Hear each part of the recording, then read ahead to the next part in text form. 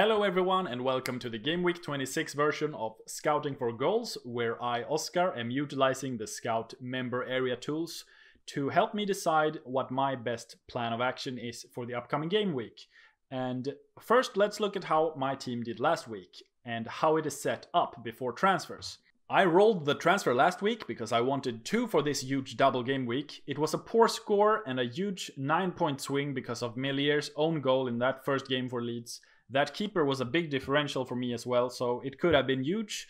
I didn't start Calvert Lewin ahead of Robertson, which was a tight call, and I lost three points there, but no regrets there. A valuable lesson learned though to play the in-form attacker rather than a defender from an out-of-form team, especially in a derby. I'm most likely going to use the bench boost this game week 26 unless there are injuries on my players. I think it's important to try and field 15 players on your bench boosts, and as you can see, Grealish is an injury doubt, so he might go. Aston Villa's Davis is on my bench, who isn't going to get me any points on a bench boost, so upgrading him is a no-brainer. I had this decision of Kane versus Watkins in my first scouting for goals episode in game week 20 and went for Kane who got injured. Back then Kane had underlying stats that were better than Watkins, but Watkins had great stats as well, so it will be interesting to see the stats on them this time. But I think Watkins suits my team structure better. However, Kane is something I, someone I really want, and I have to sacrifice Salah this week to get Kane in. And the cheap midfielder I would want in that case is probably Raphinha. So I think the most obvious options that I can think of are one of these moves Salah plus Davis to Kane and Raphinha, or Davis plus Robertson to Watkins and Dier.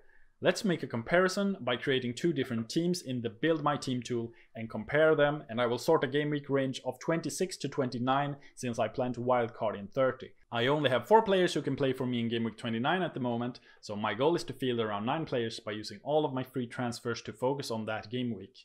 Current team without making any transfers is projected to score 260.5 points. By switching from Salah and Davis to Kane and Raphinha, this score would go up by 5 points. The other move I was talking about was Watkins and Dier, which is projected to score 6 more points than the original. But it's important to note that the projection tool doesn't know that I plan to bench boost in game week 26, which is a big part of why I make these moves, so we need to consider the bench points as well.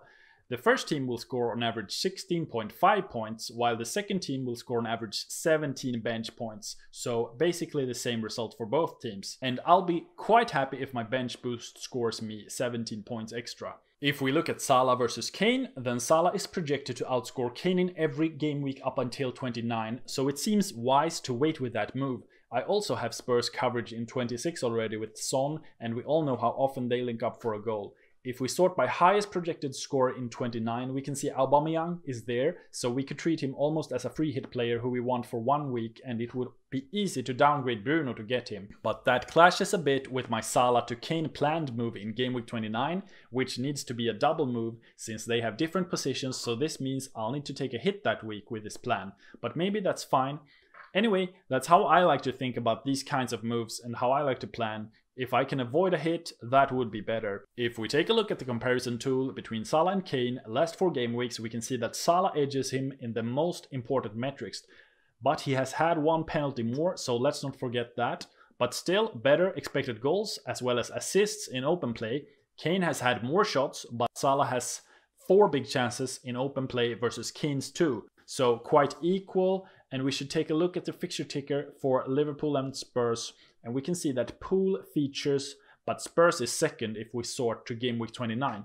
Aston Villa is up there too, and we can look at Watkins' stats to compare with Kane to see how good value Watkins might be if he can match Kane's underlying stats, because we know by now that he matches his fixtures. And here we can see that the stats are quite close between these two. Watkins has slightly worse expected goal stats, Kane shoots more, and of course Kane is on penalties. I would love to own both, and Grealish potentially being out hurts Watkins a little bit, in my opinion. Another thing to factor in is that I might captain Kane if I owned him. He is known as a double game week hero. One last thing I'll be looking at with you guys is the goals imminent table, and we can spot Kane here, who again has quite a low expected goals of 1.23 in his last four matches. It should be noted that one game was versus Liverpool, where he got injured at halftime, and he has also played Manchester City, who are the best defensive side in the world at the moment. There are two other guys on this table that I find encouraging to see here. The first one is Raphinha. Him and Loftus Cheek are perfect for my structure if I was to sell Mo Salah. This is in my opinion quite a tough decision and I haven't gotten 100% clarity, but I'm leaning towards getting Watkins instead of Kane because I don't like the idea of selling Salah in a double game week and I think Robbo is a higher priority to sell. If we look at one last table, Dusra's dodgy defenses, we can see that Liverpool has had four errors in their defense, which has led to a goal. It's mostly down to Alisson who is behind this mess, but still proves signs of a team in disarray. Now let's go through your Twitter questions. Both Tomisapo and Kotokuda asks which assets to own for the double game weekend. are there any must-haves? I think there are many great options but no standout captain and there's no great asset that has two easy fixtures in my opinion. Since you are asking about captaincy, we can check the projection table and sort on game week 26 and we see that Salah at the top and then Bruno and Kane are all very close and it's extremely tough to call. So don't overthink it and just go with the one you see has the highest upside for you because they are all equally likely to not blank. Bruno has the most double digit holes alongside with Son, so that's an argument for them having the highest upside. Apart from Manchester City, it seems to be Everton and Leicester. I'm probably getting Harvey Barnes myself to target the doubles if Grealish is unfit. Next question. Need some decision making help. I like Leicester and Everton fixtures. I have three options. A. KDB plus cheap defender in for Sterling plus Shaw. B. Barnes in for Sterling and a minus 4 to get Digne or City D in. C. Barnes and Son in for Raphinha and Sterling, maybe minus 8 for a defender. As I just mentioned, I agree with you that I like Leicester and Everton's fixtures, and I think Sterling is due a rest maybe in one of those double game week games. I think getting KDB is a little bit sideways and he is not totally match fit, so I like B the most I like getting Barnes in and another City defender. That's all I had for you this game week. Thanks for your questions. And if you want your questions featured in the next episode of this video series, you need to follow me on Twitter so we can chat there. Subscribe to the channel if you want more content like this. I'll be looking for you in the comments here on YouTube, so let me know if you have any further questions. And I look forward to seeing you there in the comments. And a massive good luck this game week, guys.